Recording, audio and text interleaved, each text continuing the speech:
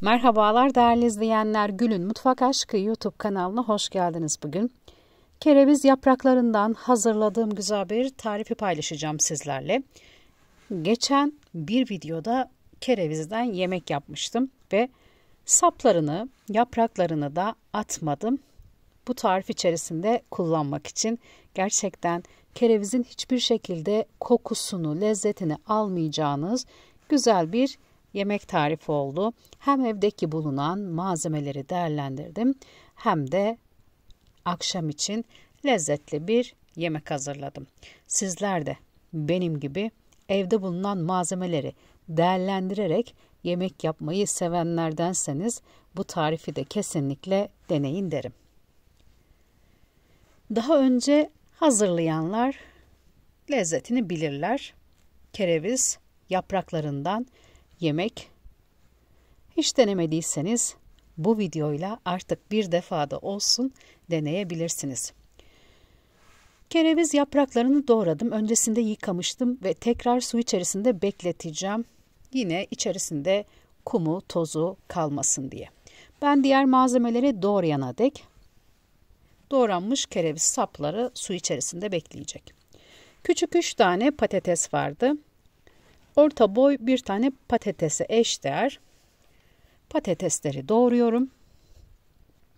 Birkaç malzemeyle kereviz saplarını lezzetlendirdim.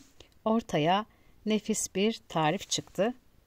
Biz çok beğendik, severek tükettik. Umuyorum ki sizler de beğeneceksiniz.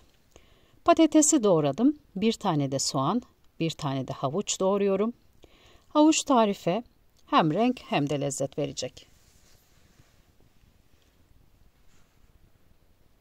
Havucu da patates, soğan gibi küçük parçalar halinde doğruyorum.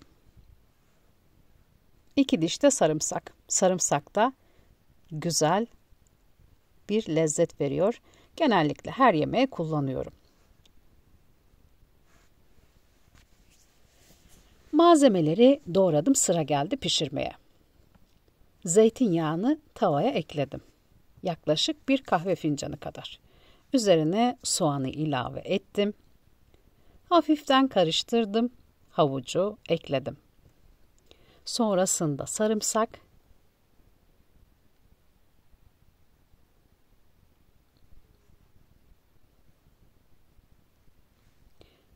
Bazı tariflerimde neden bu malzemeleri birbirine kattın, yemek yaptın diyenler olabiliyor.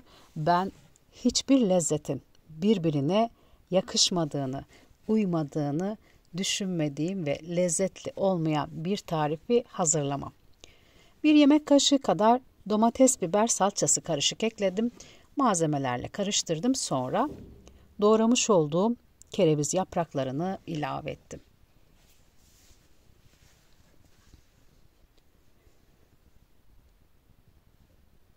Kereviz yapraklarını da hafiften soteliyorum. Doğradığım patatesler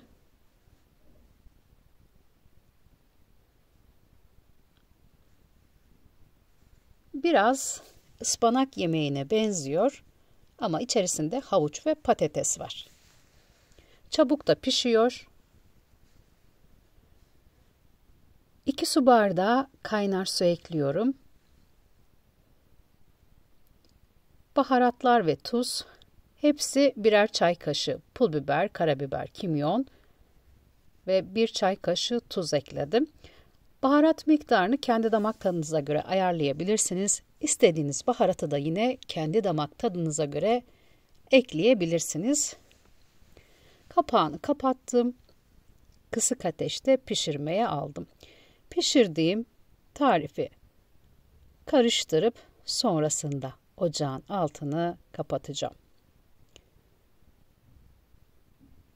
Sıcacık lezzetiyle kereviz yapraklarını değerlendirdiğim güzel bir yemek oldu. Eşimle severek tükettik.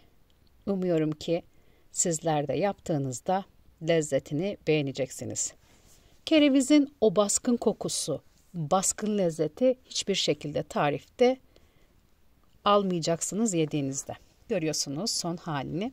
Şimdiden hazırlayacaklara afiyet olsun. Kanalıma abone olmayı, beğeni yorum yapmayı unutmayın lütfen. Değerli yorumlarınızı videonun altına bekliyorum. Sizlerin görüşleri benim için çok önemli. Tarifin malzemelerini ne miktarda kullandığımı açıklama kısmında belirteceğim. Tarifin malzemelerine açıklama kısmından ulaşabilirsiniz. Başka lezzetlerde tekrar görüşmek üzere.